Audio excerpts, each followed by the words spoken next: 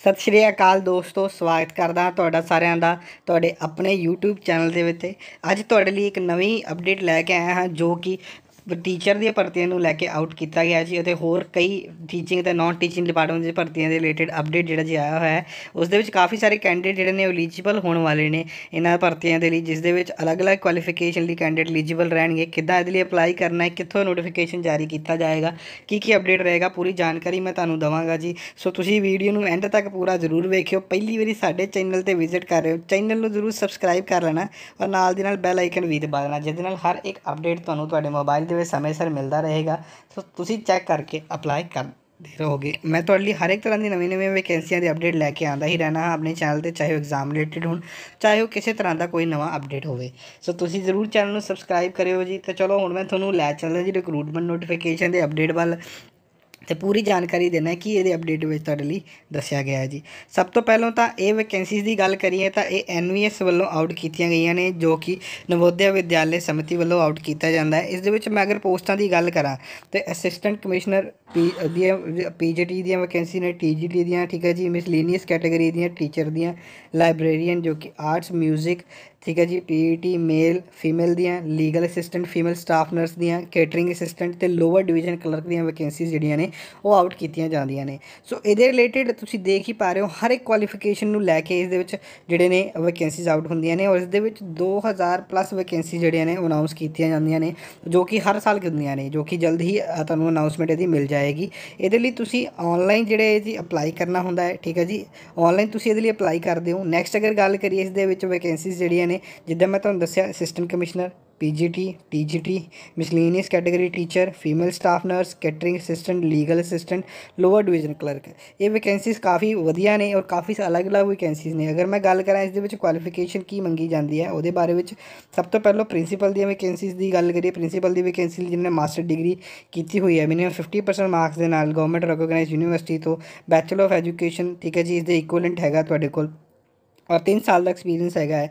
ਔਰ ਜਿਹੜੇ ਫੁੱਲੀ residential schools ਅਤੇ ਕਿਸੇ ਵੀ ਹਾਊਸ ਮਾਸਟਰ ਰਹੇ ਨੇ, ਉਹ ਤਾਂ ਅਪਲਾਈ ਕਰ ਸਕਦੇ ਨੇ। ਕੈਂਡੀਡੇਟ ਕੋਲੋਂ ਹਿੰਦੀ ਇੰਗਲਿਸ਼ ਅਤੇ ਕੰਸਰਨਡ ਰੀਜਨਲ ਲੈਂਗੁਏਜ ਦੀ ਜਿਹੜੀ ਨੌਲੇਜ ਹੈ, ਉਹ ਹੋਣੀ ਬਹੁਤ ਜ਼ਿਆਦਾ ਜ਼ਰੂਰੀ ਹੈ ਜੀ। ਮਾਸਟਰ ਉਸ ਤੋਂ ਬਾਅਦ ਨੈਕਸਟ ਪੀਜੀਟੀ ਦੇ ਲਈ ਜਿਨ੍ਹਾਂ ਨੇ ਮਾਸਟਰ ਡਿਗਰੀ ਕੀਤੀ ਹੋਈ ਹੈ ਮਿਨੀਮਮ 50% ਮਾਰਕ ਦੇ ਨਾਲ ਗਵਰਨਮੈਂਟ ਰੈਕੋਗਨਾਈਜ਼ ਯੂਨੀਵਰਸਿਟੀ ਤੋਂ ਬੈਚਲਰ ਆਫ ਐਜੂਕੇਸ਼ਨ ਔਰ ਇਸ ਦੇ ਇਕੁਇਵਲੈਂਟ ਟੀਚਿੰਗ ਦੇ ਵਿੱਚ ਉਹਨਾਂ ਨੇ ਬੀਐਡ ਦੇ ਵਿੱਚ ਡਿਗਰੀ ਦੇ ਵਿੱਚ ਕੰਪਲਸਰੀ ਹੈ, ਉਹਨਾਂ ਨੂੰ ਅਗਰ ਉਹਨਾਂ ਨੇ ਕੀਤੀ ਹੋਈ ਹੈ।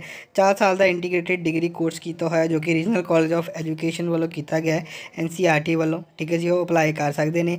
ਉਸ ਤੋਂ ਬਾਅਦ ਨੈਕਸਟ ਅਗਰ ਅਸੀਂ ਅਗਲੀ ਪੋਸਟ ਦੀ ਗੱਲ ਕਰਦੇ ਹਾਂ ਇਸ ਦੇ ਵਿੱਚ, ਜੋ ਕਿ ਟੀਜੇਟੀ ਦੀ ਹੈ, ਇਸ ਦੇ ਵਿੱਚ ਕੈਂਡੀਡੇਟ ਜਿਹੜੇ ਨੇ, ਅਗਰ ਉਹ ਸੇਮ ਕੈਂਡੀਡੇਟ ਜਿਹੜੇ ਨੇ ਅਕਵਾਇਰ ਕਰਦੇ ਨੇ bachelor of degree honours with minimum 50% marks ਦੇ ਨਾਲ, ਠੀਕ ਹੈ ਜੀ, ਔਰ ਕੰਸਰਨ ਸਬਜੈਕਟ ਦੇ ਵਿੱਚ ਕੰਬੀਨੇਸ਼ਨ ਸਬਜੈਕਟ ਦੇ ਨਾਲ ਤੁਹਾਡੇ ਕੋਲ ਹੈਗੀ ਹੈ, ਤੁਸੀਂ ਅਪਲਾਈ ਕਰ ਸਕਦੇ ਹੋ। 2 ਸਾਲ ਦਾ ਜਿਹੜਾ ਹੈ ਜੀ, ਉਹਨਾਂ ਨੂੰ ਜਾਂ ਫਿਰ 3 ਸਾਲ ਦਾ ਜਿਹੜਾ ਹੈ ਜੀ ਬੈਚਲਰ ਡਿਗਰੀ ਕੋਰਸ ਉਹਨਾਂ ਨੇ ਕੀਤਾ ਹੋਇਆ ਹੈ। ਤਾਂ ਉਹ ਅਪਲਾਈ ਕਰ ਸਕਦੇ ਨੇ। ਸੋ 50% ਮਾਰਕਸ ਦੇ ਨਾਲ ਬੈਚਲਰ ਡਿਗਰੀ ਕੀਤੀ ਹੋਈ ਹੈ ਤੁਸੀਂ, ਠੀਕ ਹੈ ਜੀ?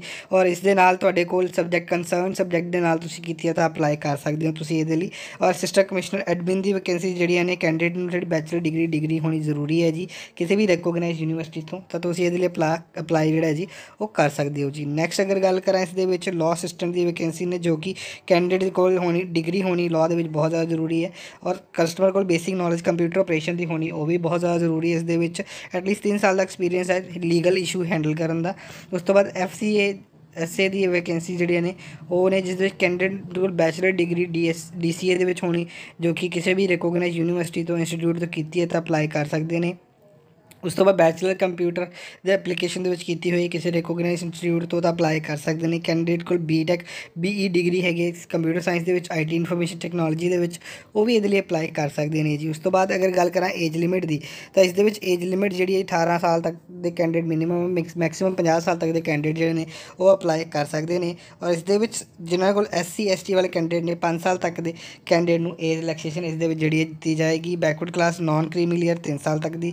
ਔਮਨ ਆਲ ਕੈਟਾਗਰੀ ਜੋ ਕਿ assistant commissioner legal assistant female staff nurse catering assistant lower division clerk 10 ਸਾਲ ਤੱਕ ਦੀ ਹੈ ਤਾਂ ਉਹ ਅਪਲਾਈ ਕਰ ਸਕਦੇ ਨੇ ਜੀ। ਐਨਵੀਐਸ EMPLOYE ਜਿਹੜੇ ਨੇ ਉਹ ਅਪਲਾਈ ਕਰ ਰਹੇ ਨੇ ਪੀਜੀਟੀ ਟੀਜੀਟੀ ਦੇ ਲਈ। ਤਾਂ ਉਹਨਾਂ ਨੂੰ ਕੋਈ ਏਜ ਬਾਰ ਜਿਹੜੀ ਹੈ ਜੀ ਨਹੀਂ ਹੈ। ਐਨਵੀਐਸ EMPLOYE ਜਿਹੜੇ ਨੇ ਅਪਲਾਈ ਕਰਨਗੇ ਅਸਿਸਟੈਂਟ ਕਮਿਸ਼ਨਰ ਲੀਗਲ ਦੇ ਲਈ 5 ਸਾਲ ਤੱਕ ਦੀ ਏਜ ਰਿਲੈਕਸੇਸ਼ਨ ਦਿੱਤੀ ਜਾਏਗੀ ਜੀ।